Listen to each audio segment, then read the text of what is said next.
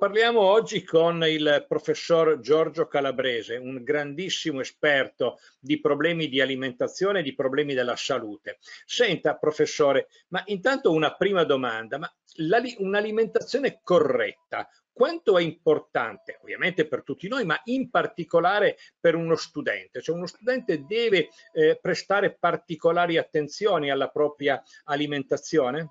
Lo studente è come le macchine di Formula 1, quando eh, incominciano al mattino che si svegliano, sanno che se dal lunedì al venerdì devono fare la gara di Formula 1, quindi devono fare rifornimento, mettere i giusti grassi ma non eccessivamente, non caricarsi troppi di proteine. Per cui l'alimentazione in uno studente che mh, utilizza molto il cervello, l'intelletto, la memoria, la capacità dell'eloquio, ha bisogno di avere che il sistema nervoso sia molto ben eh, energetico e nel contempo idratato. Quindi bisogna bere dei liquidi al mattino, può andare molto bene il latte, il tè, il caffè e contemporaneamente mettere molti carboidrati, specie complessi, la fetta biscottata integrale, la torta fatta dalla mamma, meglio ancora se con pochi grassi e con più eh, farine integrali, molta frutta, succo di frutta, spremuta, frutta fresca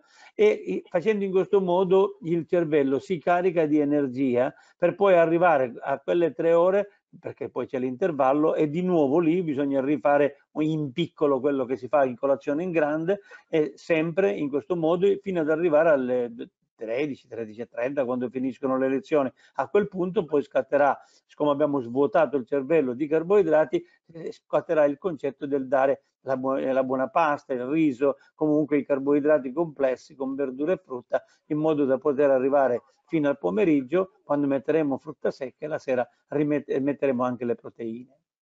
Senta professore, nel complesso eh, quanto è importante dal punto di vista del benessere psicofisico dello studente prestare attenzione all'alimentazione e anche magari ad un accurato riposo? Ma veda, è fondamentale perché riposo e, e se vogliamo dire anche sonno e alimentazione sono due facce della stessa moneta perché io ho bisogno di dormire e riposarmi per ricaricare, per svuotare la richiesta di energia perché mi riposo, mi rilasso, i muscoli si rilassano e contemporaneamente poi l'alimentazione che deve riempire di nuovo questa tanica della giusta energia che non è solo carboidrati, sono anche proteine, sono anche eh, grassi mh, mhmm, nel modo giusto, nella quantità giusta, nella frequenza giusta, per cui ambedue sono fondamentali. Se io dormo poco, brucio, non solo non mi ricarico, ma brucio le poche energie che ho. E quando io arrivo al mattino che non ho dormito o non ho dormito bene, sono stanco di alzarmi, stanco di stare a letto. Ancora di più quando arriverò a scuola, prima sarò disattento, non concentrato, addormentato e se mi interroga prendo anche un 2. Certo. Senta, professore, dai dati che eh, abbiamo, che leggiamo molto spesso eh, sui quotidiani, nel web, eh, il, pro il, il problema della obesità, soprattutto nell'adolescenza, è in aumento. Eh, come mai questo, secondo lei?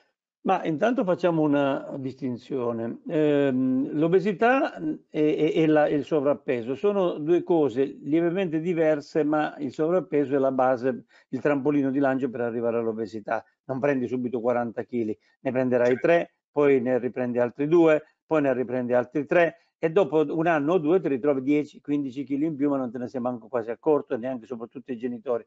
È fondamentale il discorso dell'obesità che, che mh, comporti che cosa? Un sovraccarico digestivo, un sovraccarico del fegato e in questo caso anche un sovraccarico di condizioni di rienergizzazione della, delle, delle, proteine e, e, del cervello è perché noi abbiamo una condizione cerebrale che ha bisogno costantemente di essere rienergizzata, che ha bisogno di, di eh, calorie date soprattutto da carboidrati, ma non solo, ma soprattutto da carboidrati se io dormo poco, dormo male, sono stanco e non mi nutro per poter compensare questa carenza di sonno che si traduce in maggiore, eh, un maggiore utilizzo di zuccheri anche di riserva, allora a quel punto noi abbiamo una, un personaggio intelligentissimo che rende come un, uno che intelligente non è.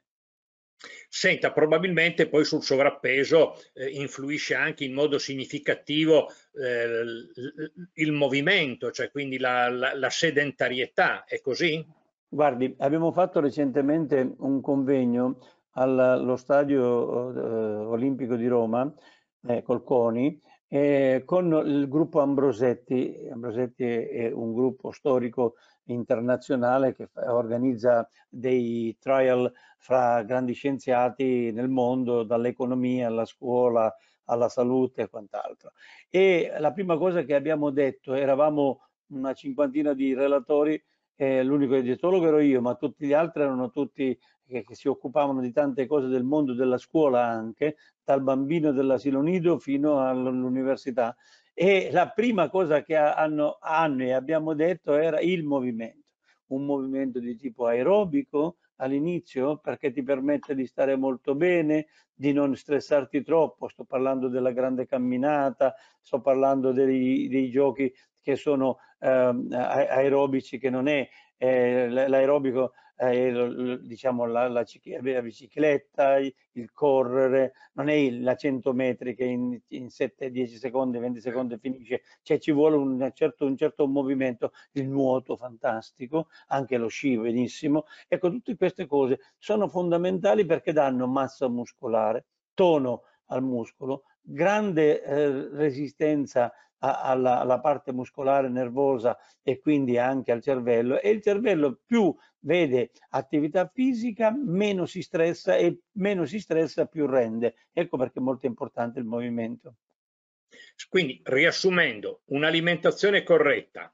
movimento nel modo giusto e Sonno. riposo esatto. e riposo ecco questi esatto. sono i tre elementi e poi idratazione, aggiungerei bisogna bere i due litri al giorno di acqua perché man mano che ci impegniamo a scuola, lo stress, la tensione, mi interrogo, non mi interrogo, faccio il compito in classe, lo so fare, non lo so fare, è un compito, un tema lungo, è un compito di matematica, di latino, di greco lungo, ecco, tutto questo ti disidrata proprio per quanto riguarda lo stress. Allora bisogna reintegrare. A scuola non bisogna portare cibo eh, grande se non per l'intervallo, bisogna portare tanti liquidi perché i liquidi ti danno la possibilità di avere delle membrane molto elastiche e questo permette di essere più intelligenti.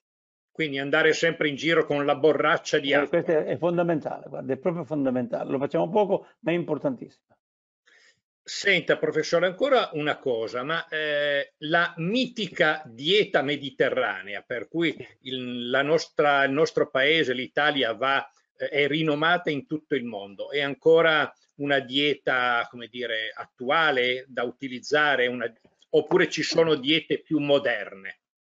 Diete più moderne eh, ci sono, ma non salutiste. La, la dieta antica, che è, è, la dieta mediterranea, è, è, la più salutista, però infatti tutti ce la copiano nel mondo. Noi è come i romani che hanno il, il Colosseo. Molti romani non sono mai entrati al Colosseo, tanto ce l'hanno là, capite? Noi abbiamo la dieta, ce l'abbiamo là, e poi eh, c'è la gente che viene da fuori per imparare la nostra dieta mediterranea o di, per vedere il Colosseo. Ecco, è fondamentale questo discorso. Noi abbiamo bisogno di avere tutta una visione della, della nostra vita con la dieta mediterranea noi abbiamo, se non abbiamo il maggior bene, perché molto spesso noi la dieta mediterranea l'abbiamo abbandonata, sicuramente abbiamo il minor male. Le faccio un esempio così banale. Lei pensi, eh, noi diciamo, parliamo di verdure, di frutta, di 5 porzioni al giorno, dei legumi che dobbiamo mangiare e quant'altro, pensi quanto ne mangiano i, i, cinesi, gli orientali di questo, eppure vivono dieci anni in meno di noi. Perché? Perché gli manca il complesso,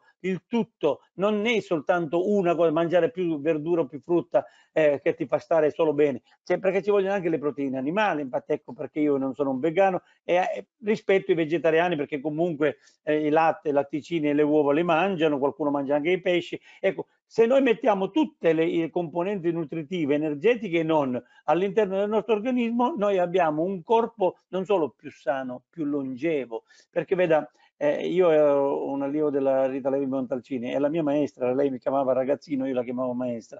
E, e, un giorno io dissi una frase che poi lei ribadì, e però con la sua onestà intellettuale disse che era mia questa frase, è il mio ragazzino che mi ha detto questa frase. Veda maestra, noi non, non dobbiamo aggiungere giorni alla vita, ma dobbiamo aggiungere vita ai giorni. E questo è un discorso che lei disse, guarda sei magnifico perché in effetti hai capito fino in fondo la lezione della vita che ti ho dato. Ed è così, noi dobbiamo aggiungere tanta vita ai giorni, perché vivere eh, con tanti giorni senza la vita, se io sono un cristiano, sono contro l'eutanasia, quindi mai farei morire un, un, paziente, però capisco che se sei allettato da dieci anni con la, con la barella, con la, la padella, il, il catetere, il, la, la, la, badante e sei sul letto, sei vegetativo, diventa duro per sé e per gli altri che lo accudiscono. Quindi ragazzi, per favore, cerchiamo di essere veramente eh, molto mediterranei, perché nella mediterraneità voi non lo sapete, eh, forse manco ve ne accorgete, forse non vi anche, neanche vi interessa perché beh, è normale vedere il nonno che ha 90 anni, ma guardate che non è così, se andate nel mondo orientale il nonno ha 65 anni, poi non c'è più il nonno. Senta, professore, l'ultimissima domanda, ma eh, lei lo sa che di tanto in tanto eh, sbuca fuori nel nostro, nel nostro paese un parlamentare, un deputato, un senatore che parla di eh, introdurre la cultura del vino nei programmi, nei curricoli scolastici. Lei che cosa ne pensa? Che idea ah, si eh, fa? Le dico una cosa molto che, che, forse pochi sapete, perché fino in fondo non ne abbiamo molto parlato. Esiste nella passata legislatura un disegno di legge a prima firma Giorgio Calabrese che parla di educazione alimentare in toto, in cui c'è all'interno anche quella del vino, non solo il vino, perché se noi facciamo la cultura solo del vino è ottimo ma è limitativo. Noi dobbiamo fare la cultura della dieta mediterranea, dell'alimentazione, bambino di due anni che va all'asilo nido, poi va a, alla, a scuola materna e va avanti così, mentre vedi, io vedo la nipotina, mia nipotina Carlotta che a Roma che a tre anni lei tutti i giorni le insegnano cos'è la mela, la pera, il legume, le fanno, la fanno pasticciare, le fanno impastare la pasta. Ecco, questo ti fa dare del tu da parte del bambino o della bambina al cibo e questo ti, ti, ti, educa. Poi arrivi a casa e incominci a dire a mamma, ma no mamma, non voglio questo, voglio quello che deve essere più scura perché è, è integrale, che mi aiuta di più, vado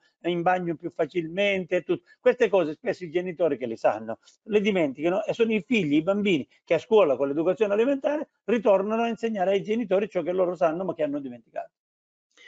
Ultimissima questione. Lei che, in, che notizie ha, cosa ne sa sul funzionamento delle mense scolastiche nel nostro paese? Ah, Secondo guardi, lei funzionano bene? Sì, io direi questo. Guardi, io ho gestito ai tempi del sindaco Castellani e, e Chiamparino con la Paola Pozzi, assessore i, i, le mense scolastiche del, del, del comune di Torino, 55.000 bambini per 5 anni hanno mangiato secondo i miei dettami. Eh, poi hanno continuato anche se poi io non c'ero più perché avevo altri impegni, non ho potuto più seguirli. E devo dirle che eh, la mia, la, io ho due figli che ora hanno 40 anni circa e, e sono due professionisti e loro andavano a scuola e mia moglie quando c'era il, il, momento della mensa li andava a prendere e li portava a casa per farli mangiare bene perché a scuola si mangiava posso dire una frase che da, da giovane visto che mi scuola si mangiavano schifo quando ci siamo messi, quando lo Stato ha voluto, perché lo Stato italiano c'è, ha voluto invece che le cose cambiassero, e soprattutto quando incominciarono ad arrivare anche tanti migranti che non avevano i soldi, allora questi bambini, compresi i miei, poi sono andati a scuola eh, statale, loro mangiavano in mensa, allora i miei potevano, avrebbero potuto permetterselo come tanti altri di andare a casa senza nessun problema, altri se andavano a casa non trovavano nulla e invece là c'era il cibo giusto, nella quantità giusta, nella qualità primaria e quant'altro. Da allora, io le sto parlando di insomma, 25 anni fa, e le mense sono sempre più migliorate. Una cosa mi preoccupa, glielo dico con molta onestà, Stanno, hanno imposto, prima Milano, ora lo vuole fare Torino, le mense eh, eh, vegane. Per i bambini proprio non ci sto. Io critico già gli adulti, immagini i bambini. Non va bene, non va bene. Però devo dire, nel senso intellettuale, ci sta anche quello, nel senso che cioè, la mensa scolastica è diventata così importante che ha ripreso le abitudini che erano a casa. Poi qualcuno anche a casa bisogna aggiustarla, però e questa è una di quelle cose che bisogna aggiustare a scuola. Però io sono convintissimo che la mensa scolastica oggi dia molte più garanzie di igiene, di sicurezza, di salutismo e di eh, palatabilità più di quello che possiamo trovare a casa, soprattutto nei momenti di crisi economica, quando a casa al massimo hai un piatto di spaghetti e basta, e una volta, due volte, tre volte, quattro volte, non puoi solo mettere la benzina nella macchina, devi mettere l'olio dei freni, l'olio del motore, l'acqua del radiatore, cioè devi fare anche altre cose, se metti solo solo benzina, a un certo punto la macchina si ferma. Bene, eh, ringraziamo davvero di cuore il professor Giorgio Calabrese per questa bella lezione, in pratica che ci ha fatto di educazione alimentare. Quindi grazie davvero professore. Buona vita, anche ai ragazzi soprattutto.